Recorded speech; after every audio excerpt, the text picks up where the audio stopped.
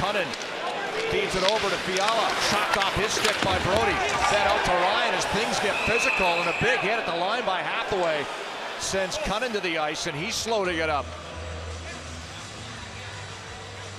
Call right away too. There was no hesitation by the officials on this one by Hathaway, but and then again Brodie with a dive on the play, and here's the, the hit right here is Hathaway weathers the hit from Kunin. He reaches over top of him with the forearm, kind of slams him down. Almost a little DDT-ish there as he comes down into the boards, and Kunin goes down the tunnel. So he'll head to the room.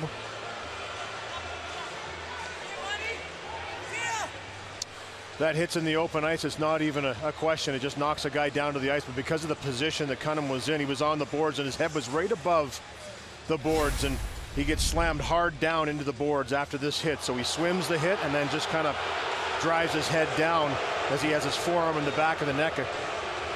Kunin Hathaway plays on that edge. He's a physical guy. He's been involved physically in this one as well. Here just kind of swims up and just extends it a little too long as he brings them down. And you can see the Minnesota bench initially right away reacted to that hit.